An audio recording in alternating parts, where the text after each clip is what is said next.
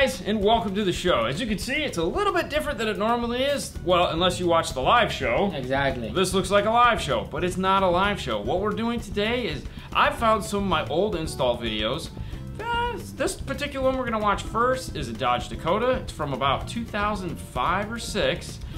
It's a lot of Rockford stuff. What thought we'd do is go ahead and play the video, let you guys watch it, and we'll talk a little bit about what we did in the car. This is before I even knew Fernando, so this could be fun. You ready? Yeah, I was walking. Yeah, you were walking? Walking with a diaper. Yeah. All right, here we go. All right.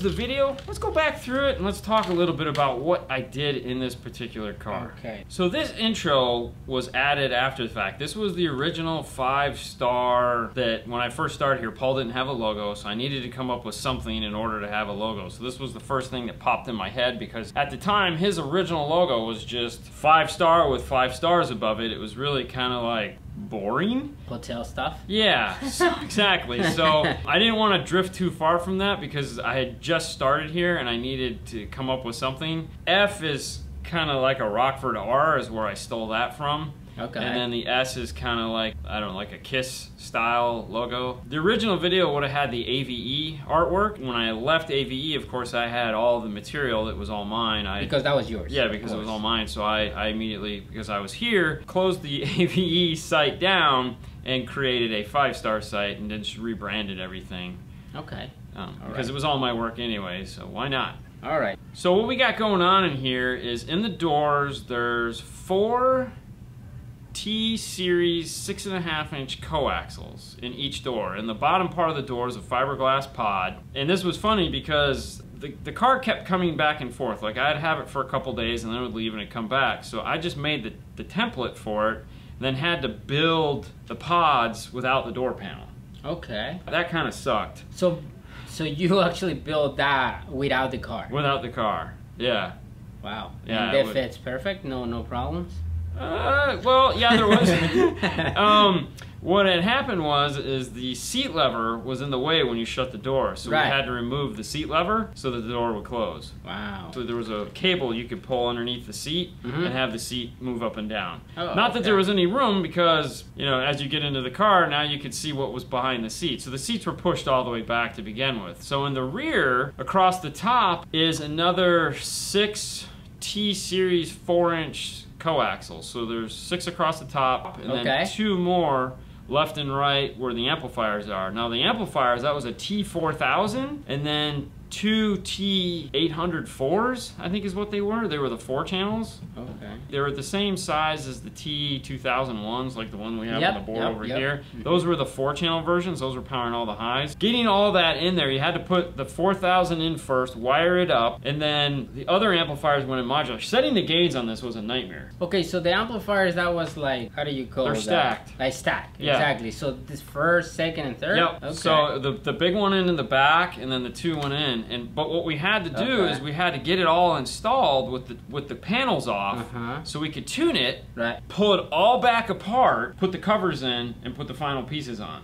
Wow. because we couldn't tune it with it finished like Right, that. right, right, right, So right. Yeah, that so we built it, listened to it, and then had to take it all apart and Yeah. put it all back together again. And then the top piece there was that was fiberglass like the door panels, and then there's three T215s in there. So that arch that's going is what? Is fiberglass or? No, that's all wood. Okay. It's actually everything is wood except for uh, where the, the two fours are, Mhm. and then the door pods. Those were fiberglass. The side panels around the side where the seat belts are, those Yep. are those are handmade. Those were wood. And the top, Top is all wood. it's all wood. It's multi-stacked, layered. This was before everyone. Multi-stack. Okay, yeah, was like- well, because now it would be considered a stack fab. mm-hmm. But back then it was just I needed something thick, so we built multiple layers, and then one of the back one was solid. And the funny thing was I didn't have a flush trim bit. I cut that all with a jigsaw and then sanded it all down. Yeah, it sucked. Wow. Okay, and then in the metal, that's the Rockford logo. That's a Rockford logo with, a With blue lights. with blue lights in them. Look at you. And that was sandblasted logo. So I hand cut the logo onto the Mhm. back of the plastic and then sandblasted it. So you don't have a um, laser? We, we Back didn't have a laser No. and we didn't have a uh, we didn't have any graphics.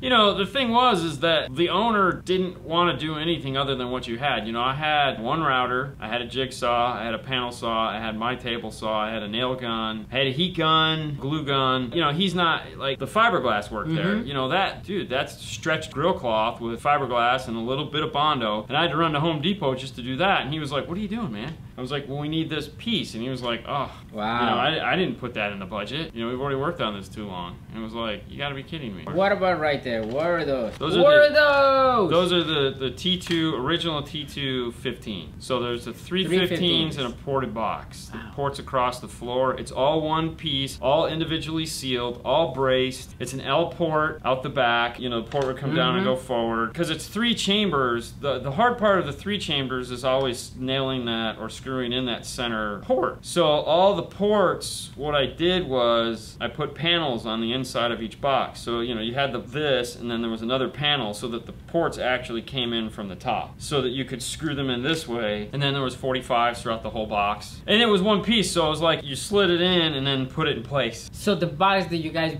did you guys build it outside or inside? Oh no, it's outside. So basically we built a subfloor Mm-hmm. and then the box set on the subfloor. All the fasteners that were used, like anytime we had to use screws to hold something together, Mm-hmm. Rockford always uses those torque screws or Uh-huh. the you know the Allen head screws. So everything was silver Allen head screws to match all the Rockford stuff. Not many. I didn't like seeing screws because of the way the product was designed. It was okay in my mind to show the screws because it kind of matched. Right. If there was someplace clean where I could put one, I'd go mm-hmm. ahead and do it. All right, so that was the Dodge Durango. Let's go ahead and Go we'll- to another one. yeah, let's check out another one here. Okay, let's- So this next one was a little bit later. What had happened was we got hooked up with Melvin. He's a car concierge. For those of you that don't know what a car concierge is, he's the guy that you hire if you're rich to get the car you want. Okay. So what he would do is he would specialize in sports. So he would get cars for the football players, for the hockey players, and for the baseball players. Okay. And they would be very specific. Like in this case, they wanted an Aston Martin. Uh, they wanted a certain set of wheels, and they wanted some bass in it. Mm-hmm. So when we got the car, our portion of it was to put in the subwoofer. Now, we never met the guy. We don't know whose car it was. We didn't know anything about that. All we knew is we had a budget and we had to do this. So we got in this DB9 and it was like, don't take up any room because he's got to fit his golf clubs in the trunk, but he wants bass and that's it. Wow. And it was like, you got to be kidding me. So let's take a look at the video.